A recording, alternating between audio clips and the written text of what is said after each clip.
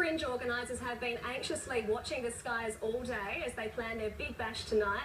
Jessica Braithwaite joins us with the latest from the Torrens Parade Ground. Jessica.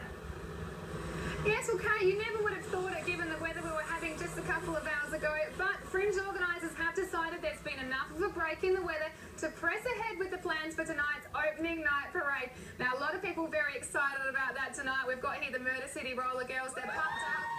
They're ready to go. They're ready to hit the uh, you do have to admire them for getting out here in the less than ideal conditions.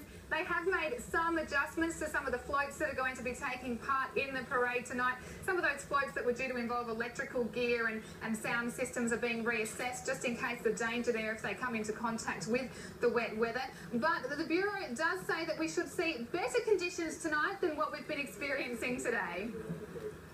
I'd expect that there should be at least some light rain still, um, but it will progressively clear. There will be a lot more traffic around. There's a lot of roads that have been closed off for fringe events, um, and there'll just be that increased population around those sorts of events. And so we're really just appealing to people to take some common sense. All Derby they still come in because the reality is the fringe kicks off tonight. There's 300 shows opening. All these fringe venues are opening their doors. So you know, the celebration is in all the fringe venues as well. So, you know, either way, there was going to be a lot happening in the city, but as it's turned out, there's also going to be a parade.